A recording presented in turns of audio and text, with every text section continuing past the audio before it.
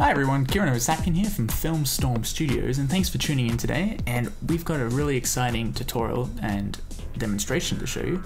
Uh, we're going to be showing off the Filmstorm Waypoint tools, a really good little pack I've made to help you make little AI patrols and other fun things for your AIs to do, and make them look like they're doing something in your worlds instead of just standing around and doing something, idling, who knows. So let's, um, you can see we've got an empty scene, and after you download the pack and import it, you'll see this, uh, this uh, pack of little uh, scripts that I've um, written. Um, and we've got the gizmo just to make it look a bit prettier, and I can save this scene as well for you if you want after, after I finish. Alright, so we've got the empty scene. We need to create some objects in here, so let's just zero this guy out, and let's scale him up, put a dark material on there. And let's also just make some cubes to fill in the space and give the, the character to something to avoid. So let's make that dark matte. And let's just duplicate these guys and move them around. Cool. Now let's create an empty object and just wrap everything up together like a nice Christmas present. Oops. cannot spell today. Even it's not even a hard word. Alright, let's drag that guy in into here. And let's click the static box with them all in there. It's going to ask us to change all the children. Let's say yes. Cool. And as you know, with navigation systems, you'll need to uh, click bake and also save the scene. So let's just call it scene and. That should be perfect. Uh, of course, the plane wasn't included in there. So let's drag that plane and make that static and rebake that. And there you can see we've got all of these little uh, things generated for us. Um, and also, what we want to do is also calculate drop distances. So you can come in and just put 5 and 5 and click bake. And you can see that these are areas that are that have been calculated enough for the player to actually stand on. So if you make these areas a little bit bigger, um, that's somewhere the player could actually jump up, or the AI, sorry, could jump up to to escape or take a shortcut. So that's how you get these little automatic drop uh, calculations. Uh, you also want to calculate the height mesh, just so the, the system knows how high everything is. And that's pretty much all we need to do right now. So let's just close that out. Let's create a new uh, capsule Let's zero him out and bring him over. Cool. And we want to rename this guy enemy guy or AI guy. That should be that should be cool. And we want to come down to add component and look for our AI brain. And this is the system that automatically sets up your AI system for you. One press of a button and look at that. You pretty much have everything you need to go except for our waypoint manager that we need to slot in there.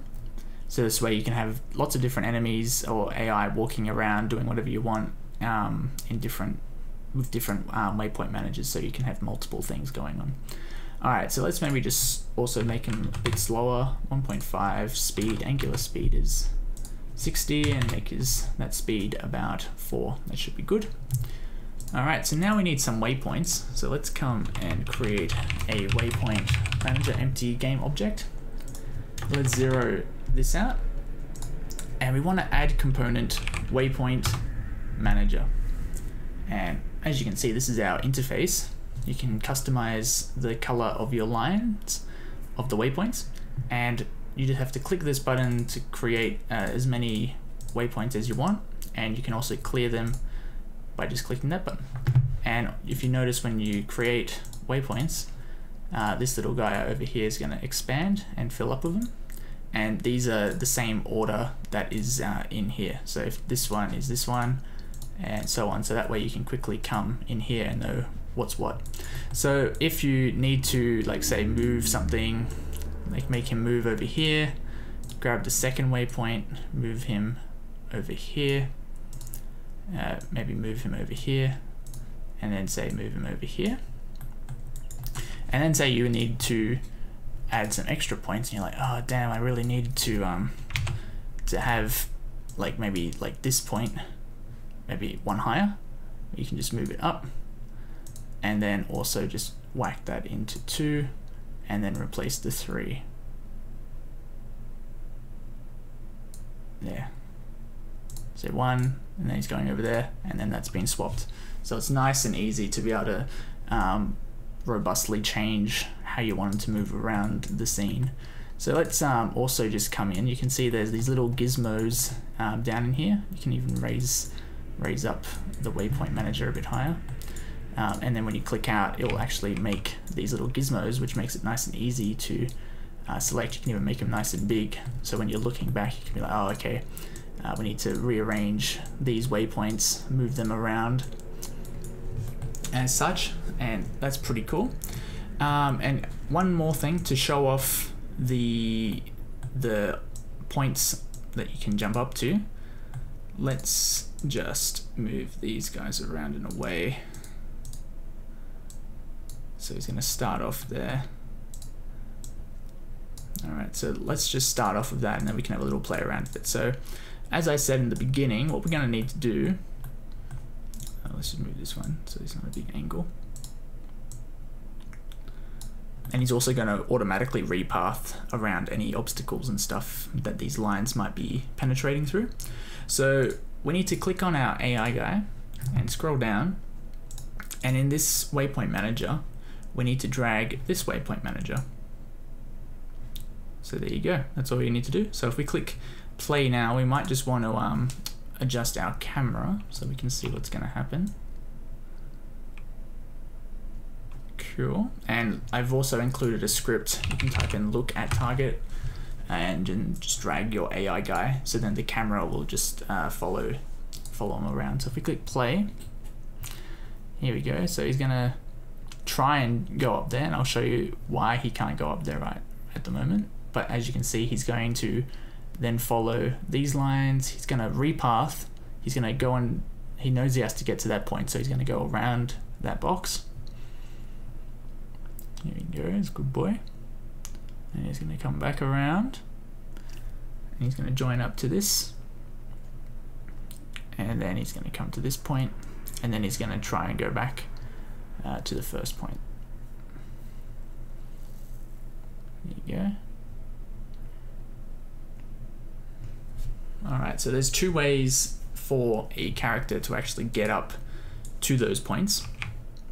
One way is to set up manual points. So we just need two points. So if we drag this over, call it 000, zero, zero, so we know it's in line with the, the ground and we come nice and low, you can see that's here. Uh, you can also create another empty object and just call this off uh, off link jump also zero this out. You can even just grab wherever we moved uh, that one to, just paste this in here and then parent this guy under there and you'll see why in a second. So just call uh, this object just one and make another one and call this one two. So this is the first link and then you want to drag the second one and put it on top of this queue. And then if you jump into navigation, you'll see that you want to try and place it inside this blue section. And for just for demo's sake, let's just make it a little bit wider and re rebake it so you can see it's updated.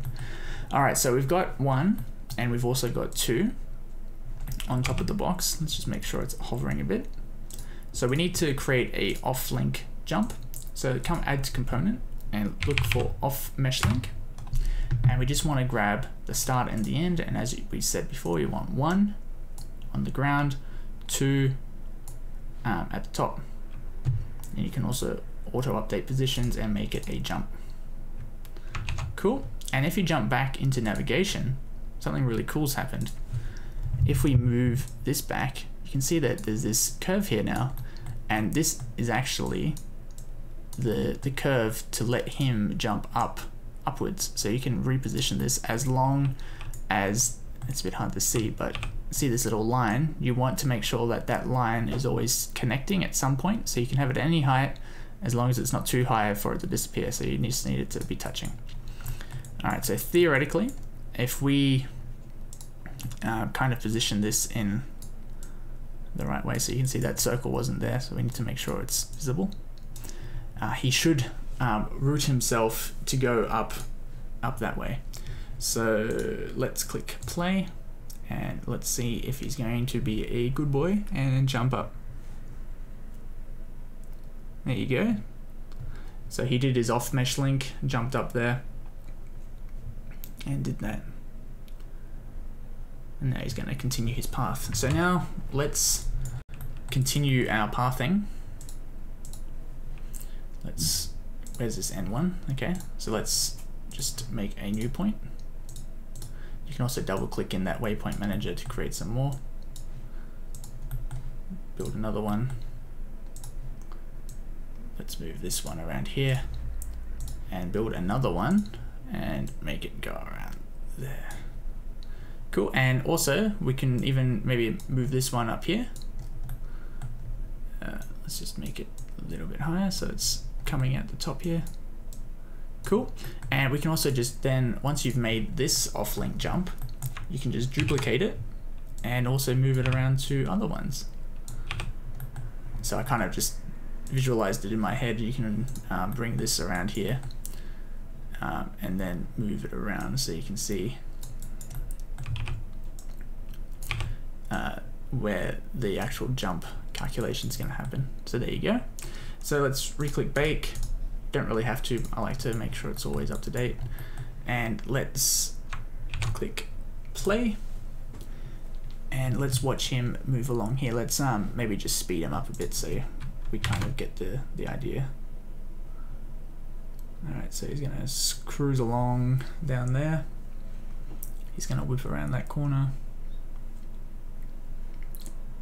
Come up here. Now, theoretically, this time he should go around that box. Yes. There we go. He's to go around there. And this time he should take that route to jump up there. There you go.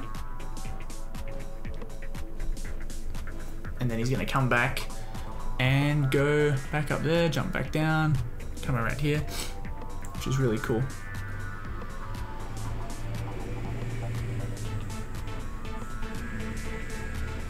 Yeah, so that's that's pretty much the waypoint manager and system and all the tools all packaged together.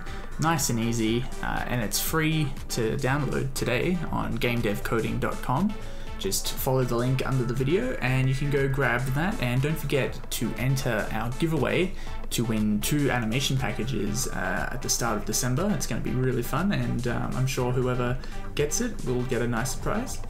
Um, and but thank you everyone for watching and I'll catch you guys next time. See ya.